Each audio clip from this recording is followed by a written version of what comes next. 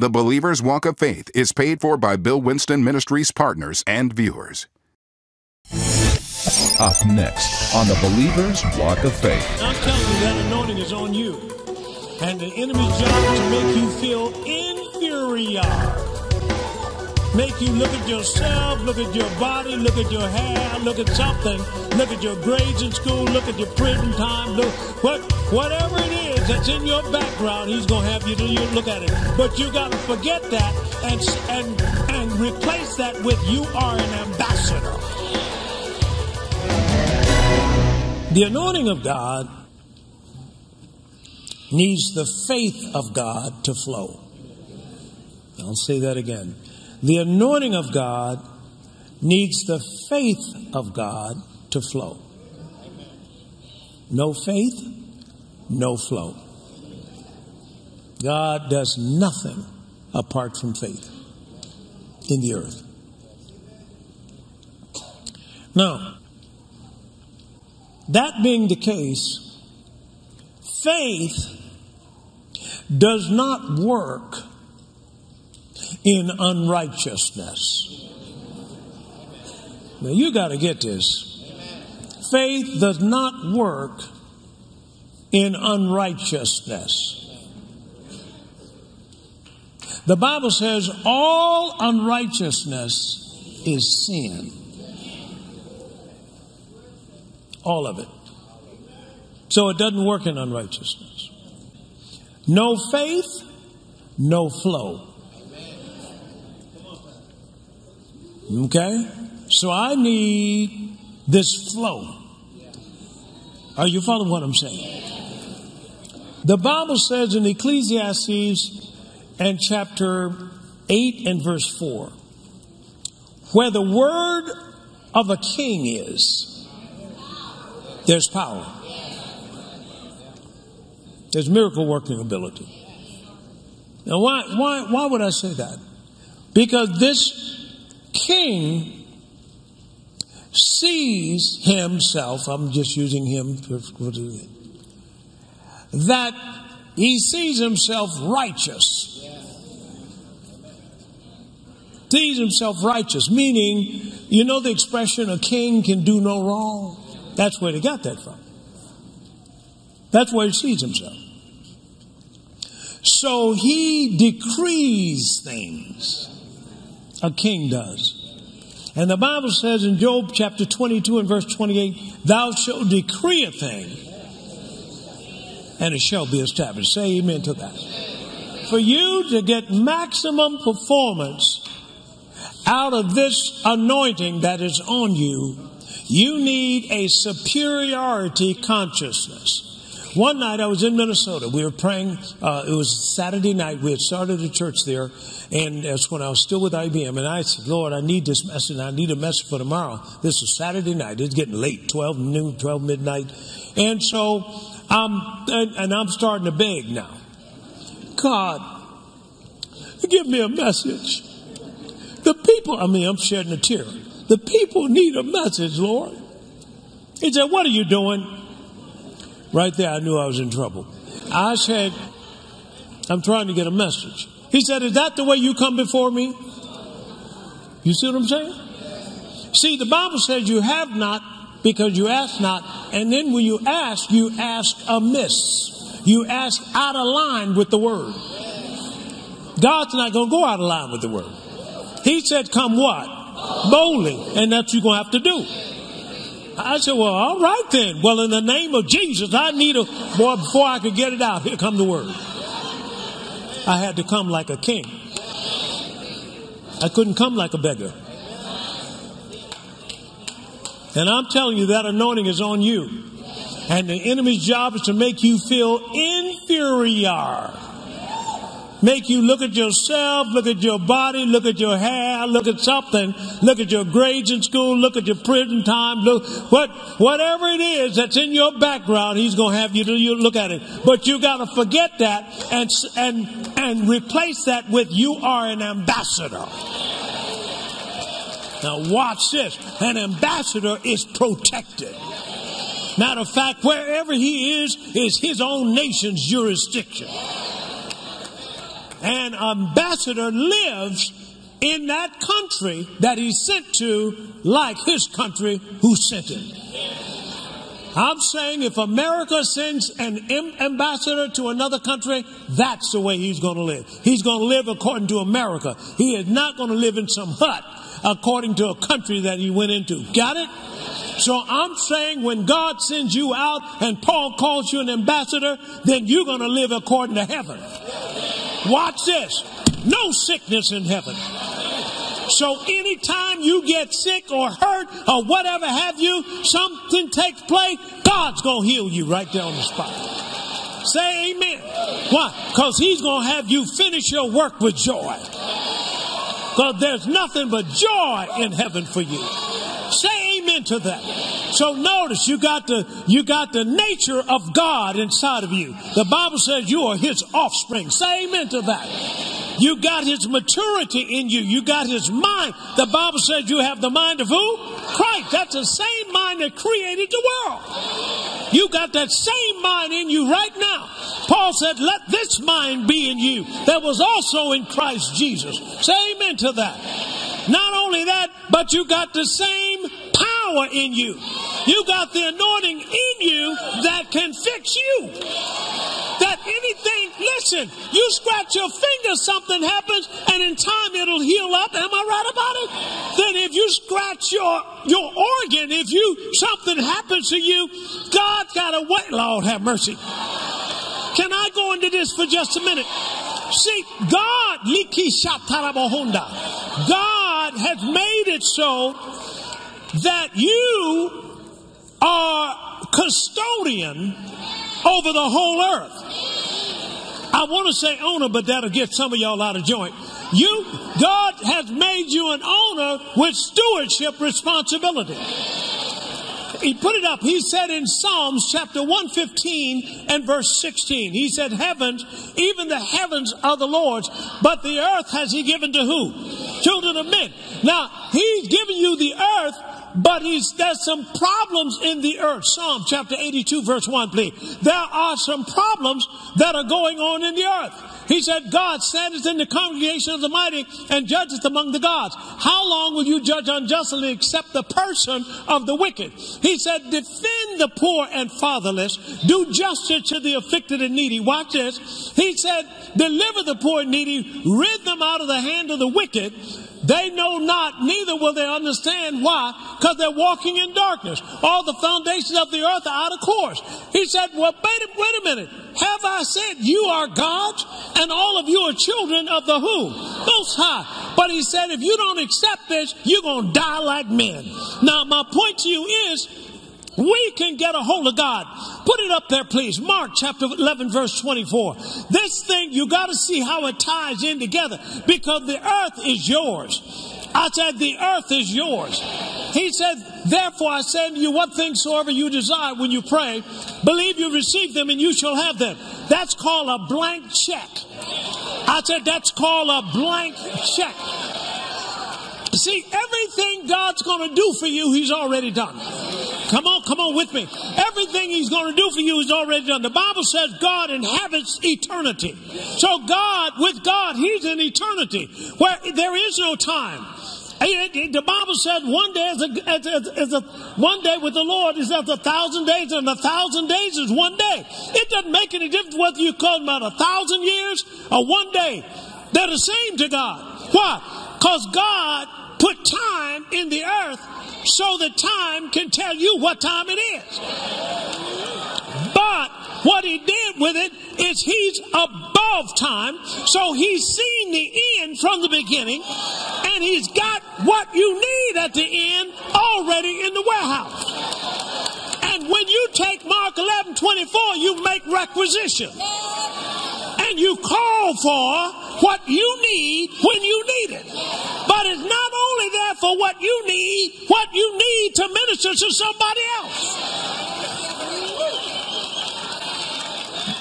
God has put up billions to finance your ministry. It doesn't make any difference what you need. Folks, it's all right there. Say amen to this. Oh, Lord Jesus. See, we we, we, we, we, we tend to think, see, when he gave you the earth, he knew there were going to be problems. So he's laid up a solution. The Bible says over in Proverbs chapter 2, he's laid up sound wisdom for the righteous. He's laid it up so that you can get a strategy as to how to fix this thing.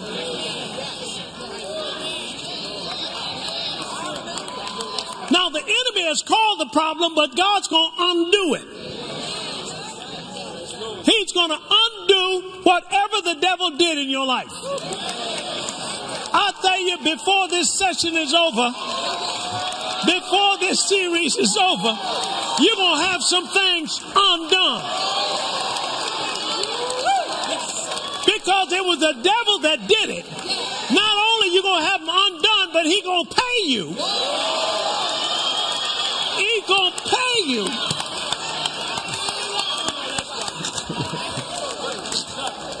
Are you following what I'm saying? See, he's ripped some of us off and we don't even know he ripped us off.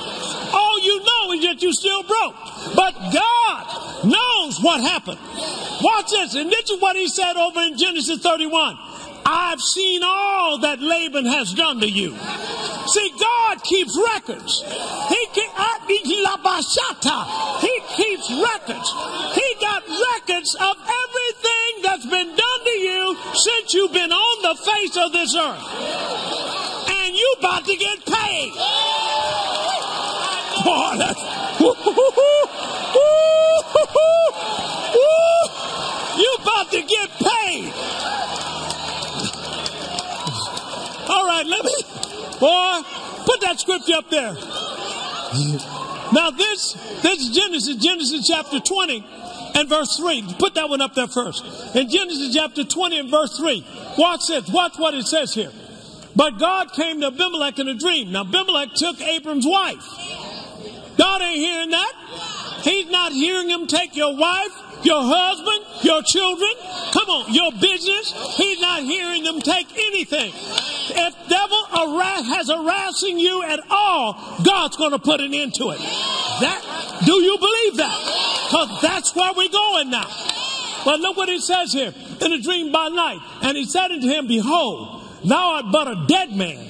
For the woman that which you have taken, she's another man's wife. Now therefore restore the man his wife, for he is a prophet, and he shall pray for you that you shall what? Live. Live. I mean, don't mess with him. No, don't mess with Bill. Da da da da. Don't mess with Bill. Leave my Billy alone. Okay, now.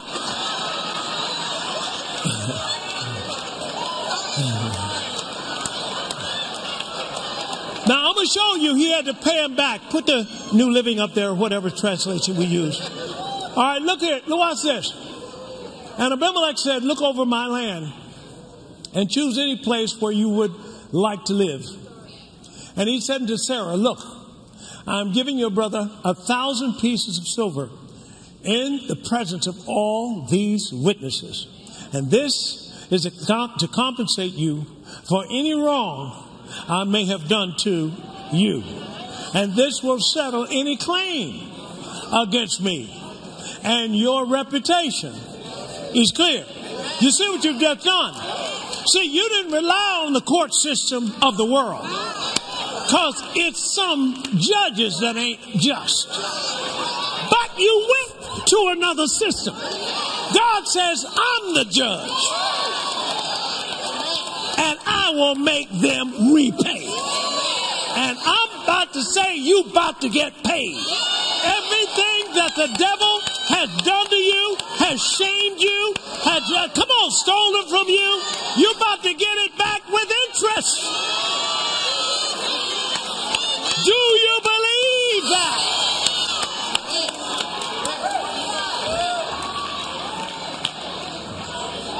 Now let's go a couple more things. Say, I can do all things through Christ, which strengtheneth me. Now, what is he saying here? All right. He is saying that now what's happening is God has now got it so that you have something called potential. You have something called potential. And God is going to use you to do some mighty things. Now you have to understand, God knows what your potential is. So, when God thinks about you, He doesn't think about you except in terms of your potential. Even some of the things that have not yet manifested, God knows He put that in you. And He knows what you can do. Say amen to that. As a matter of fact, you were birthed out of God. And He has given you part of His potential, and you are wired, glory to God, to operate like Him. Say, I'm wired to operate like my Father. Now, if you've accomplished something, you can enjoy that and you can appreciate it. But don't get hung up on it. Why? Because God's got some more for you to do. Paul said it like this I count not myself to have apprehended. Philippians chapter 3, verse 13. But this one thing I do. Watch this. Forget it. Paul knew that sometime the past can hold you in the past. So now the past, he no longer used it to motivate him. He was strictly looking at the future. Say amen. Now you can do that and, and, and that's fine. But God has big plans for you because there's a big God inside of you and he's sent to you to do big things. Woo, that's a lot of bigness going on. God gave you potential to dominate the earth and everything in it. Say amen to that. So you can rule it, you can subdue it, and you can keep it under because you have the potential to make that happen.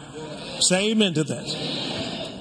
Now, because people have not learned to live by faith and release the anointing that's inside of them, then a lot of what God wants to do in this earth has not been done. In fact, because of the lack of the manifestation of the sons of God, the world has experienced chronic insufficiency. Folks, what happened when they had all the people there and Jesus said, said feed them? Right there, the disciples started counting up their little money, didn't they? But they, they hadn't experienced heaven's supply there is a whole supply that the enemy uses if a person cannot access that, then he'll dry up certain communities. So, what am I saying to you? I'm saying that your season has come. I hear the sound of the abundance of rain. That's what he said over in 1 Kings chapter 18. Rain symbolizes the what? The anointing. So when that anointing comes, restoration takes place, leadership is developed. Come on, all these things, it's going to turn you into another person, and signs, wonders, and miracles going to take place. Now, let me say this. Here was a man waiting by the pool of Bethesda. John chapter 5. And he was there how many years? 38 years. He was waiting for the angel to come down and serve the pool, for it said that it, in a certain season, the angel came down, stirred up the water, and when he did, whoever jumped in first was made whole. Nobody else got healed. Jesus came over to the man and asked him a question. Do you want to be made whole? The man said, Sir, I have no man. When the water is troubled. See, he's still thinking the water. But God is the healer. Jesus said to the man, What? Rise, come on, take up your bed and walk. And immediately the man rose up, took up his bed, and started walking. Now, what am I saying? That your wait is over.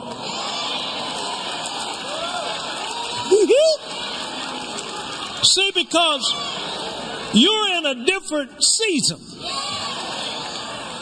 I hear the sound of the abundance of rain. Put up there Amos chapter 9, please. And chapter 9 and verse 13. Let's put it up in the message translation, please. Yes, indeed. It won't be long now. God's decree. Things are going to happen so fast, it's going to make your head swim. I'm saying right now, your wait is over. I said, Your wait is over. This man was there for 38 years, but when Jesus came, his wait was over. When the anointing showed up, here's a woman that had been had an issue of blood how many years? 12 years. But when she heard, come on, of Jesus, here's David come to the front line. They had been fighting for 40 days, but David came forth and he said, I can take him. I got a lion, I got a bear, and I can take him too. And he walks to the front line, and this is what he said. This day, see what I'm saying? He told Israel, Your wait is over. How about when Moses showed up down there with Pharaoh? See, Pharaoh thought he could hold him off and stall him and so forth. But no, no, no. Pharaoh said, Let my people go. I mean, that's what Moses said. Pharaoh said, No, that's my economy. You ain't going to take my people. Here's what Moses said Pharaoh, this day, the wait is over. I got to get God's people out of here. I'm telling you, Saint, we're on a timetable here, and the wait is over. God is going to do some things. Look what he says in Isaiah 65 24. He said, It shall come to pass that what? Before you call, come on, I will answer, and while you are yet speaking, I'm going to hear you. All I'm saying is you sit in the waiting room waiting to see maybe a physician or the dentist or whatever have you. We've got on the phone and it'll tell you how much wait time you got. We'll be with you in 20 minutes. Or if you're waiting on payday, you, oh Jesus, I've run out of money. When is payday? Or if you're waiting on a job, boy, I can hope I can get this job. Or if you're waiting on a husband, oh Lord, if you're waiting on healing, if you're waiting on, I don't care what it is, your wait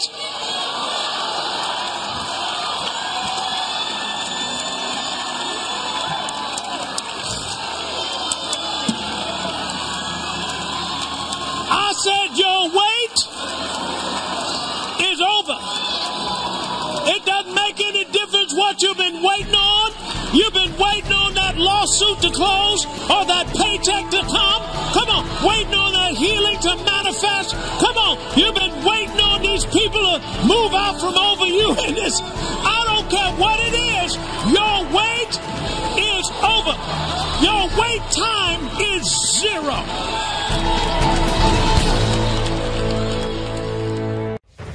To order today's series, Understanding the Anointing on CD or MP3, on DVD or MP4, call us at 1 800 711 9327 or contact us online at billwinston.org. Let this dynamic teaching reveal to you how the burden removing, yoke destroying power of the anointing will flow in your life and equip you to do the greater works God has called you to do. Order this must have series today. Hello, Bill Winston here. Now, I trust that you've been blessed by the day's message. I'd like to take a moment to share a couple of testimonies with you that, that have come from our prayer call center. We have a call center that's set up to pray with people who would call in. Now, we've created this center for you, the partners, the viewers, those who would call in need prayer for any matter. It doesn't make any difference. We want to pray with you, stand and agree with you, whatever we need to believe God for you for the thing that you need God to do in your life. Now, here is a testimony that was given to me. This came in from Florida. This particular person had a family member that was in a coma. They'd been in a coma for two weeks and that this family member was, the family was being challenged as to whether to take the person off of life support or just leave them on. Well, this one person decided to call the prayer center here at Bill Winston Ministries, and that prayer minister prayed with them and believed God for that person's deliverance or that person to come out of that coma. Well, shortly after, the family called this person and reported that the sister, the dear sister that was in a coma, opened her eyes and woke up and then asked for a drink of water. Now, they asked what time that this sister called the prayer center. What time did they pray for this dear sister in the hospital? They prayed at 11:16 a.m. in the morning, and that is the exact time the sister woke up from a coma that she had been in for 2 weeks. Praise God. Let me give you another one. This testimony comes from Illinois. This particular person called for prayer uh, for their godmother. Now, she had stage four cancer and was going to have surgery. Now, after they had received, received prayer from the prayer call center, the doctor started the surgery but could not any longer find cancer in this person's body. Now, these are actual testimonies that have been coming in. So I'm just saying here that if you need prayer, if you need somebody to agree with you, we've got people that know how to get a hold of God. I'm telling you, see, God's plan is that we all be healed. God's plan that we all be delivered. God's plan that we all have enough abundance or whatever have you. So if you're going through something that isn't God's plan, in other words, there's something in your situation there that you know is not God's will for your life, call that prayer center. They're standing by. These folk know how to pray. And as you pray with them and they agree with you, we're going to believe God that every need of your life is going to be met. Well, remember, we're here for you. The prayer call center is available. We love you. And this is Bill Winston saying, keep walking by faith.